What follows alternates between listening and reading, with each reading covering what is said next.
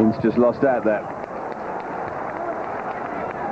Now Kendall almost charged.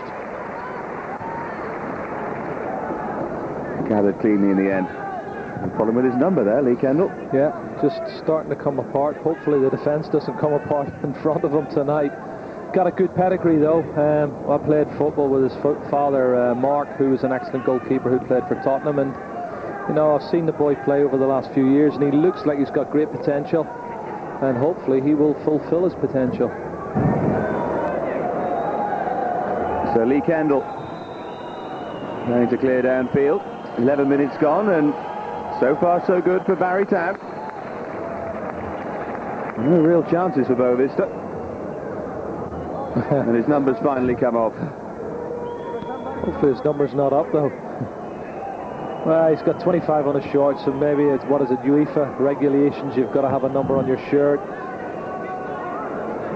Would have been easier for them to put number one on, wouldn't it?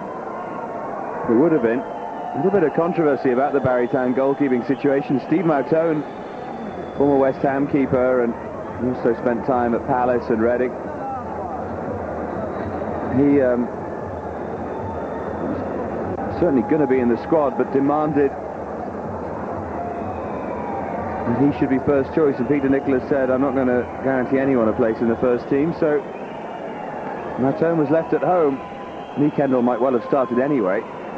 The assistant, uh, rather reserved goalkeeper is uh, Matthew Keeler, who was uh, spotted by Barry when surfing on a local beach. So uh, Kendall is the best of an odd bunch, put it that way.